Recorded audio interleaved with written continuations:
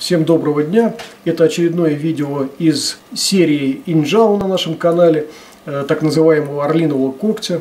И если первое видео было посвящено в основном укреплению рабочих поверхностей, то в этом видео вы тоже увидите, каким образом укреплять очередную рабочую поверхность, а в частности мы будем говорить с вами о внешней части запястья. Но, среди прочего, вы научитесь еще и атаковать запястье. В частности, вы освоите распахивающий удар запястьем и освоите защиту нижней части вашего корпуса, ваших ног, а также мы слегка коснемся защиты корпуса и головы.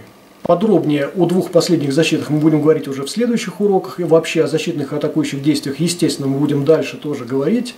А в этом уроке, э, среди прочего, вы освоите еще несколько дополнительных шагов, которые вам понадобятся впоследствии.